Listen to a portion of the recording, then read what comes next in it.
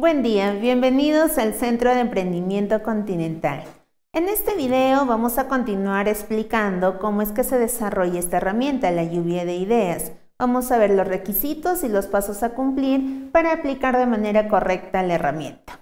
Empezamos. Con respecto a los requisitos, es importante velar porque nuestro equipo sea diverso, es decir, que podamos contar con especialistas de distintos rubros o inclusive con personas en los distintos niveles dentro de la organización o dentro del equipo. Hay que evitar comportamientos dominantes, es decir, eh, en, algunos, eh, en algunas empresas, instituciones o equipos a veces le damos mucho poder a ciertas personas por el tema de experiencia, conocimientos o cargos que puedan ocupar entonces, eso se debe regular dentro de las reglas iniciales al momento de aplicar la herramienta. ¿ok? También debemos generar integración en el equipo antes de empezar a generar ideas. ¿Qué más? Debemos conformar equipos pequeños. En algunas ocasiones nos toca trabajar con equipos numerosos, por ejemplo 20 o 30 personas. Si nosotros trabajamos de esa forma, vamos a tener inconvenientes con el tema de que muchas personas se van a quedar calladas y queremos las ideas de todos. Es importante generar dinámicas para tener equipos mucho más reducidos, de máximo 5. Se deben determinar cuáles son los tiempos de trabajo, es decir, darles minutos limitados para este proceso de generación de ideas.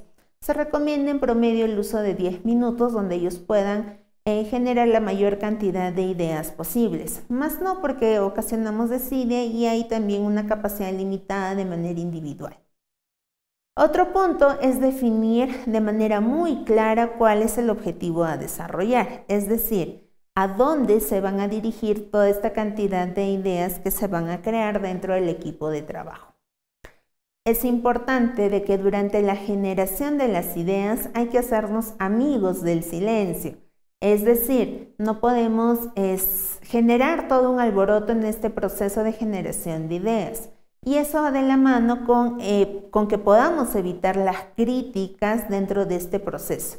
Las ideas son ideas, no son ni buenas ni malas, entonces no podemos criticarlas antes de tiempo. Y también es importante, reconociendo las cualidades de cada integrante del equipo, que también podamos generar espacios para ideas anónimas. Hay muchas personas que se les resulta un poco complicado poder expresar sus ideas en público o con otros integrantes dentro del equipo. Es por eso de que generar este espacio para ideas anónimas es muy importante para ellos. ¿ok? Para eso se puede utilizar, por ejemplo, un Google Form, entre otras herramientas, un chat, etcétera, donde ellos puedan expresar de manera escrita todas sus ideas. ¿Y cómo vamos a desarrollar o aplicar esta herramienta? Primero, debemos definir el espacio de trabajo. Debe ser un ambiente cómodo para poder evitar las interrupciones. Es decir, debe ser un ambiente de preferencia con una mesa circular o varias mesas dependiendo de la magnitud del equipo eh, es importante de que sea un lugar donde no existan ruidos abruptos para que de esta manera se pueda trabajar con mayor fluidez. Es importante luego de eso definir el objetivo o problema a resolver, es decir, se debe presentar el tema central y obviamente se debe establecer un tiempo límite para desarrollar la mayor cantidad de ideas posibles. Obviamente que respondan al objetivo o que puedan solucionar, eh, que puedan solucionar el problema planteado. ¿Qué más?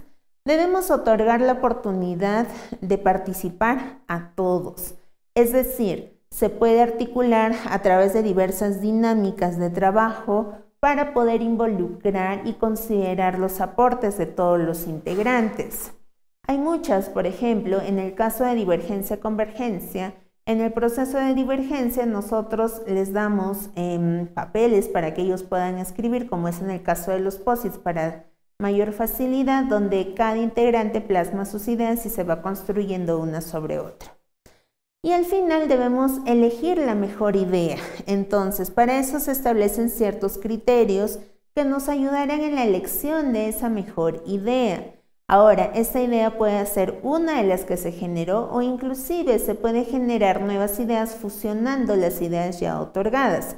Entonces, no hay límite para poder ver cuál es la mejor solución a nuestro problema o que cumpla con el objetivo establecido. Entonces, en el siguiente video vamos a poder ver un ejemplo de la aplicación de todos los pasos mencionados.